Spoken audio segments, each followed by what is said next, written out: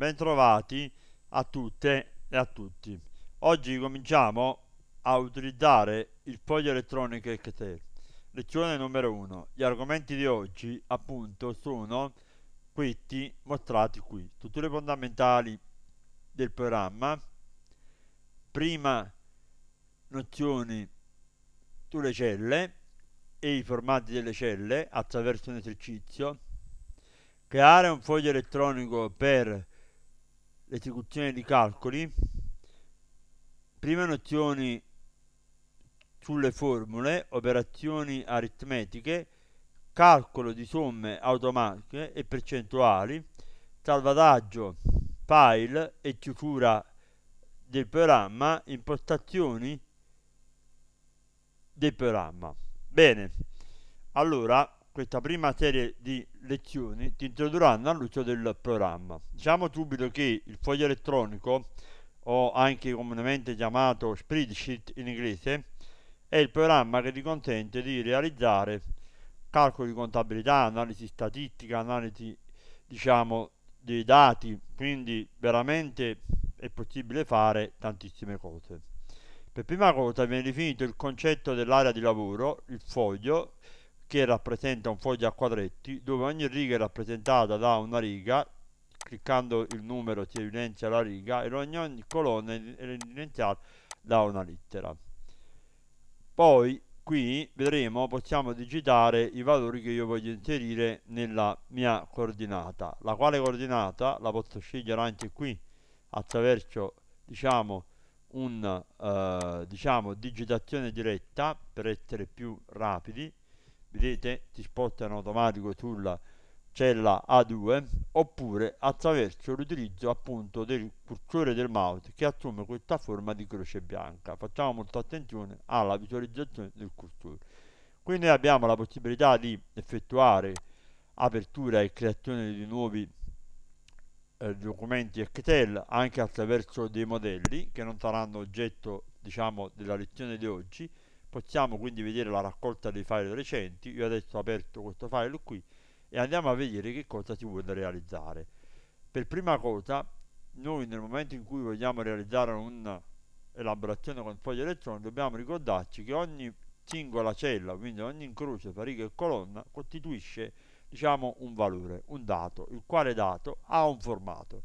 Immaginiamo di voler fare un semplice problema, adesso io ti scrivo l'intestazione di tabella, ma in effetti potremmo anche diciamo eh, utilizzare un'altra notazione, per ora ci accontentiamo di questa notazione e ti sto scrivendo appunto diciamo le varie diciamo informazioni all'interno del nostro eh, diciamo uh, foglio elettronico all'interno delle nostre, delle nostre celle e già ti sto facendo vedere che le etichette come vedi quando non arrivano ad occupare una sola cella sporano e vanno a finire all'interno diciamo della cella successiva ma questo non è un problema andiamo a fare doppio clic su la separazione fra due celle due colonne contigue e vedete che immediatamente i dati riescono ad organizzarsi secondo quella che è l'ampiezza. Ora, diciamo, questo discorso è molto importante. Ora immaginiamo di voler inserire dei prodotti. Faremo un semplice esercizio, giusto per vedere i formati delle celle, noi inseriamo dei codici dei prodotti, delle descrizioni, delle quantità, dei prezzi unitari, calcoliamo il totale, andiamo a calcolare l'IVA, ancora non abbiamo inserito diciamo, da nessuna parte diciamo, l'aliquota IVA lo faremo qui quindi qui scriveremo aliquota IVA e poi dopo lo aggiusteremo pure ti preparo quindi diciamo al passo successivo e eh, ora quello che è importante immaginiamo che il nostro prodotto avesse il primo codice 001 guarda che cosa succede. Ovviamente lui interpreta i dati e si rende conto che quello che io sto inserendo è un numero ma dal mio punto di vista in questo caso non è un'impostazione corretta perché io voglio che sia digitato proprio il valore 001 che rappresenta il codice del prodotto. Allora per fare questo innanzitutto selezioniamo giusto alcune celle e andiamo a attraverso diciamo la scheda home che è il riassunto del, del menu alla voce formato in alto a destra dove andiamo a selezionare appunto formato celle e dove andiamo già a definire il formato. In questo caso otteniamo che il formato celle vogliamo che sia testuale. E vedete che il numeretto è passato dalla parte di sinistra questo punto io lo ridigito come lo volevo digitare e vedi che i zeri sono mantenuti perfettamente nel mio eh, programma. Adesso io sto scrivendo dei dati puramente inventati ma tant'è ci serve per risolvere il nostro problema. Nella descrizione ovviamente anche qui desidero che eh, diciamo eh, ci sia eh, la descrizione testuale quindi seleziono anche qui ho la stessa operazione ripetitiva io utilizzo sempre i menu perché anche in base diciamo, agli esami di certificazione, patente europea, EIPAS, PayKit è importante utilizzare sempre i comandi di menu e poche volte diciamo il tasto destro del mouse quando espressamente ti viene richiesto. Qui inseriamo dei nomi di prodotti giusto per completare il nostro eh, discorso operativo e andiamo quindi a inserire eh, diciamo alcuni prodotti informatici giusto per restare in tema ma eh, quello che interessa è che ovviamente stiamo considerando diciamo tutta una serie di inserimenti di dati di tipo eh, testuale. E quindi il dato di tipo testuale è fondamentale inserirlo in maniera corretta ovviamente come vedete alcuni di questi dati sono usciti dalla cella, riclicco per ora, mi accontento di questo, poi ci sarà un modo più veloce per poterlo gestire. A questo punto vado sulle mie quantità e le quantità per me sono unitarie, cioè sono in numeri interi, quindi vado sempre sul formato celle, vado su il valore numero e vado a inserire che hanno 0 posizioni decimali. Appunto invento delle banali quantità, numeri tutta arbitrari e a questo punto ci interesserà capire invece come si imposta il prezzo. Per il prezzo andiamo sempre selezionando le celle sulla voce formato celle ok? Vado su valuta e ovviamente posso scegliere fra varie valute. Lui già mi fa trovare l'euro per me va assolutamente bene ma qua potrei cambiare anche il tipo di valuta se necessario e vado a impostare con ok. Questo punto vado a inserire dei prezzi che siano più o meno congrui ai prodotti e vedi che lui in automatico ti aggiusta i dati in base a quello che tu stai inserendo. E quindi è fondamentale come decimale io sto inserendo la virgola lui automaticamente lo eh, traduce eh, come formato decimale eh, se io inserisco al posto della virgola il punto lui chiaramente eh, lo, lo, porta a sinistra perché non lo comprende come numero. Quindi ricordate che la virgola decimale, che poi in italiano si usa la virgola, mentre nella notazione della colore Saturn si usa praticamente eh, il punto decimale, stiamo inserendo i nostri dati. Ovviamente stiamo procedendo bene. A questo punto il totale, anche qui, vogliamo che sia eh, diciamo eh, di tipo valuta questa volta te lo faccio solo questa volta con tasto destro tasto destro vado su sempre vedete qui formato cella alla fine il risultato è sempre lo stesso ripeto l'operazione e vado a importare. Ora il totale però dovrà essere calcolato parliamo di totale parziale come il prodotto fra eh, questa cella qui e questa cella qui. Lo stesso dovrò fare qui e qui. Perfetto. Allora per fare questo utilizzerò la formula. Il concetto della formula è che nel foglio elettronico, in tutti i fogli elettronici, in tutti i software di foglio elettronico, si utilizza l'uguale. Quindi io scriverò uguale, a questo punto mi prendo la coordinata della quantità che sta appunto in C2 e moltiplico per D2. Lo potevo anche fare col mouse, l'ho fatto con la tastiera e quindi viene calcolato il primo dato.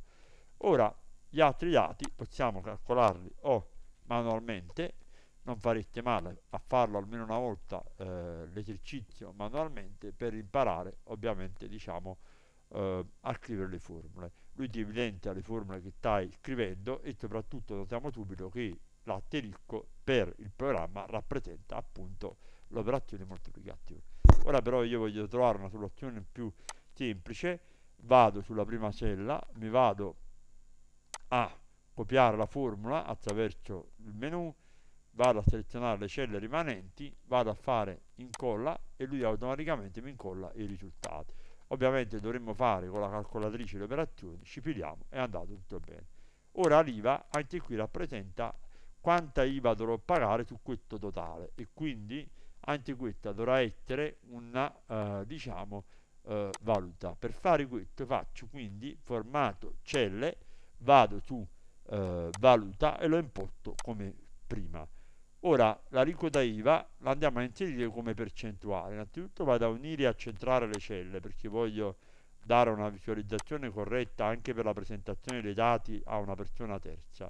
Per quanto riguarda l'IVA vado a impostare una percentuale. Una percentuale che mi consente di semplificare il calcolo del mio eh, eh, valore della aliquota IVA. Vado su percentuale, la percentuale mi accontento che sia fatta di 0 cifre decimali, confermo e inserisco 22%, anche se non tutti i prodotti in commercio sono sul 22%, ma questa diciamo è un'altra eh, faccenda. Ora, per poter fare l'IVA, io devo calcolare questo totale moltiplicato la percentuale. Il diviso 100 lo fa lui perché c'è la notazione percentuale. Perfetto. A questo punto io riscrivo la stessa formula che è un prodotto, ti faccio E2 che moltiplica a questo punto la cella H4 e vado a confermare. Sembra che sia andato tutto bene ed è giusto così. Però guardiamo un attimo cosa accade nel momento in cui vado a fare la copiatura della mia formula vado a selezionare le mie celle, il programma non fa altro che incollare i valori e come vedi i risultati sono 0. Che cosa è successo? La domanda fondamentale è che ovviamente se noi guardiamo le singole formule vedete che la cella che prima era H4 della percentuale si è spostata perché quando noi interiamo la formula nella notazione che stiamo vedendo, qualunque essa sia la cella, stiamo inserendo dei riferimenti diciamo relativi. Quindi nelle operazioni di copia e incolla ti muovono tutte le celle. Quindi copiando e incollando lui trasla le coordinate verso il basso a me non sta bene questa situazione perché io devo muovere questa cella e devo bloccare quest'altra cella per fare questa operazione allora ho bisogno di bloccare il riferimento quindi vado a modificare la mia formula posso premere o il tasto F2 o comunque andare nella barra della formula che trovi qui e vado a inserire una notazione particolare che è la notazione di riferimento assoluto. Sto bloccando la sella, sto bloccando la riga. Il risultato della formula è lo stesso, solo che adesso in tutte le operazioni che io farò nel copia e incolla, io stesso sto ripetendo appunto l'operazione, vado immediatamente ad ottenere come risultato i valori corretti che io mi aspettavo. A questo punto mi interessa calcolare i totali, i totali dell'IVA e del totale della merce, quindi totale eh, netto, totale IVAto. Per fare questo utilizzerò delle formule di forma automatica. Diciamo che per comodità queste celle le inserisco tutte in formato celle diciamo eh, valuta, ma utilizzerò solo una parte di queste celle. L'operazione la stiamo ripetendo, è sempre la stessa vado a questo punto a effettuare attraverso diciamo, varie possibilità, potrei utilizzare diciamo, vari strumenti per effettuare le somme automatiche. Vedi qua in alto, vado qua, faccio somma automatica, lui immediatamente capisce anche se prende l'ultima cella che vuota ed effettua il mio totale. Ovviamente noi ci vediamo del totale che lui ha fatto, se io cambio le quantità ti faccio vedere questa quantità la porto a 24 vedi che ovviamente cambia il tutto. Se io cambio il prezzo unitario questo lo porta a 13 cambiano tutti i totali. Quindi sta avvenendo tutto quanto deve avvenire. A questo punto vado a fare il totale sull'IVA e quindi utilizzo sempre la notazione somma automatica lui comprende anche lui qui diciamo quali sono i dati ed effettua appunto la somma. Ok a questo punto qui inseriremo il totale generale di tutto e quindi qua non sarà che altro da fare che una somma di due numeri. Per ora diciamo ci accontentiamo di queste semplici formule per imparare appieno le funzionalità del nostro programma e quindi faremo niente altro che questa cella qui che è appunto la cella eh, E9 sommata alla cella appunto F10 e con questo abbiamo fatto la somma e abbiamo ottenuto. Vogliamo fare un minimo di abbellimento andiamo a, a inserire per esempio per questa prima eh, colonna diciamo un carattere in eh, grassetto e un bordo che possiamo sempre andare a ottenere in maniera molto veloce attraverso sempre il solito menu di formato celle formato celle a questo punto andiamo alla voce bordo inseriamo un bordo perimetrale appunto possiamo scegliere anche un colore del bordo possiamo dare anche un riempimento al mio bordo sia a singolo colore che a motivo per ora ci accontentiamo di un singolo colore e poiché si tratta di intestazione possiamo anche inserire un allineamento al centro per quanto riguarda appunto le mie etichette. E quindi abbiamo ottenuto un primo abbellimento. Facciamo la stessa operazione per quanto riguarda eh, queste altre celle qua e andiamo a ripetere l'operazione per imparare bene il procedimento. Andiamo a inserire anche qui i bordi e io direi a questo punto inseriamo anche i bordi interni andiamo a dargli un riempimento di un altro colore per distinguerlo da quello precedente. Questo va bene. E quindi come vedi stiamo abbellendo e diciamo gestendo in maniera corretta la visualizzazione dei dati. Questa è solo una prima parte dell'importazione dei dati perché poi in realtà ci sono diverse metodologie per andare diciamo, a presentare i dati in maniera diciamo, esaustiva e corretta vedete io il bordo lo posso mettere anche in diagonale se lo voglio togliere clicco sul bordo e eh, vado a scegliermi qui un colore diverso giusto per far capire che è un totale faccio l'operazione anche qui per quanto riguarda questa parte qui dove abbiamo appunto i nostri dati di riepilogo e andiamo a inserire anche qui un bordo diciamo con un colore diciamo di nostro uh, gradimento non cambiamo molto i colori anche perché lo stile del, del riempimento dovrebbe essere sempre diciamo abbastanza uh, uguale. Quello che ti posso far vedere ancora è che io posso rinominare in effetti il foglio lui lo chiama foglio 1 qua ne potrei aggiungere un altro e scrivo appunto um, eh, prodotti elenco prodotti. Quindi è fondamentale che io possa modificare diciamo il mio uh, foglio di lavoro. Ora ripetendo un attimo le formule quindi qua abbiamo utilizzato attraverso il dollaro la notazione del riferimento assoluto posso anche bloccare una riga o una colonna a seconda delle mie esigenze. Come ultima cosa andiamo a vedere il salvataggio. Io posso fare salva col nome a questo punto scelgo la cartella lui predefinitamente la salva in documenti adesso vi farò vedere perché e lo chiamerò esercizio versione 2 ok dove io posso andare a scegliere qua il formato del documento noi scegliamo la voce predefinito e confermiamo. Ora una piccola diciamo cosa da vedere è che quando vado sulla voce file e c'è appunto eh, le opzioni del programma guardiamo che nelle opzioni del programma diciamo il programma ha delle impostazioni predefinite sia dal punto di vista del documento che dal punto di vista del salvataggio. Andiamo sul salvataggio e qui osserviamo che la cartella di salvataggio predefinita per lui è in effetti eh, diciamo quella eh, associata alla cartella eh, praticamente del nostro eh, programma che appunto diciamo in genere eh, la cartella eh, diciamo percorso salvataggio automatico lo va a salvare in questa cartella qua mentre la cartella di salvataggio qua potrei cambiarla e devo andare a, a ricopiare diciamo il mio percorso. Per ora non tocchiamo queste impostazioni però giusto per farti capire poi dove lui farà il primo salvataggio quando il file non avrà il nome. Confermiamo con ok. Per chiudere il nostro eh, diciamo eh, documento non basta fare altro che chiudi. Chiudi non apre praticamente eh, non chiude il programma ma lo lascia aperto. Se lo voglio riaprire faccio file o vado su apri oppure prendo l'elenco dei recenti. Benissimo con questo ho terminato. Vi ringrazio vi invito ad iscrivervi al canale a seguire questi video sul eh, foglio elettronico che via via vi daranno informazioni su come utilizzare questo potentissimo programma. Grazie, arrivederci.